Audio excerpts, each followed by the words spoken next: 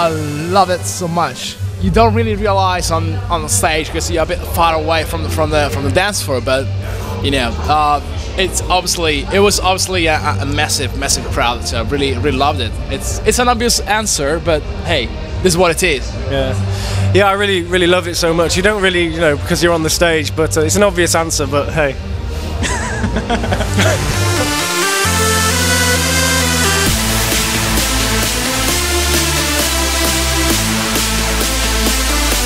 Pure NRG is a completely different thing to me DJing or Giuseppe DJing. It's a live act. You know, it's a very specific thing, and uh, we we tend to. It's uh, it's not really a back to back. yeah, they didn't ask us to do it either. I Yeah, don't think. it's not really. It's like not a back to back. No, we don't. I don't think either of us like back to backs as DJs. Pure NRG is a bit different thing. I mean, on our own, we have a, a little bit different approach to trance music, as you probably noticed and heard. So Pure NRG, it's something that where we meet in the middle, and so it's a completely different experience. It's a very exclusive music, but that's the next story. Yeah.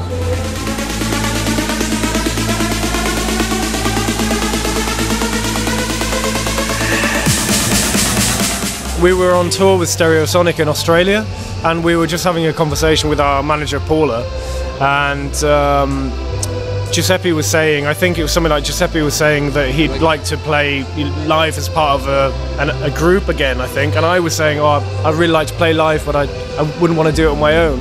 And then Paula said, why don't you guys do something together?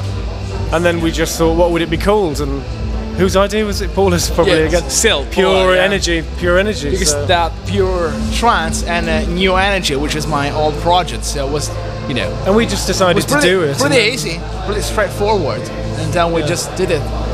and then we spent like uh, a week in the Uh, studio writing music. Yeah, a couple of weeks.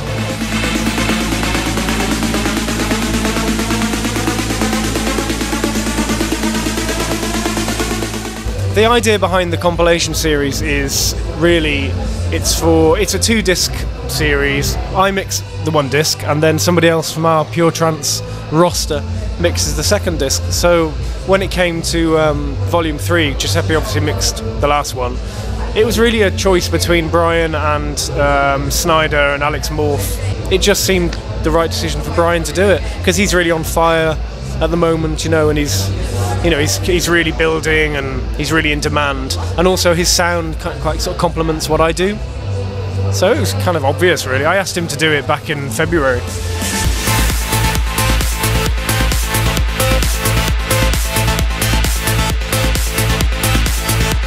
I'm cooking, um, carbonara. He cooks an excellent carbonara.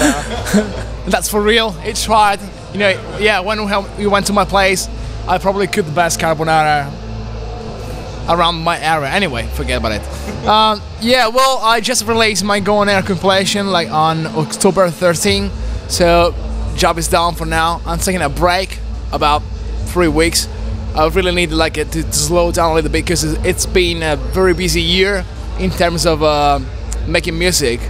So I'm just taking a little break now, relaxing a little bit, because uh, the next step is gonna be the new album, the follow-up of Magenta. Yeah, so new artist album, which is probably gonna done already, isn't it? no, no way. Just just that, that just demos, nothing really much more than, than demos, but His album's Um, kind of at the same stage my next album is.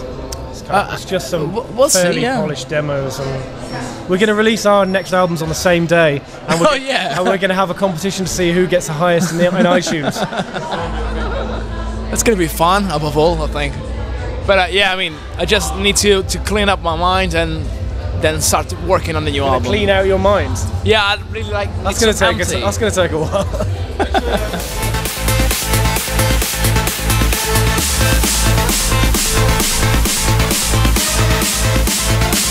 Well, I think I've got the wrong one. I'm not really greed. I'm a more, I'm a bit more like a Greedy. greedy, oh greedy, yeah. Uh, I'm, a, I'm a bit more like a, gl- uh, how do you say English? Gluttony? Gluttony, yeah. Gluttony, you should have yeah? Gluttony because he's so fat. I, I'm also, no, I'm not fat, but I'm, I I love Nutella. You know, right? Like it's like Nutella every day. It's, uh, yeah. What about you? what are the seven sins?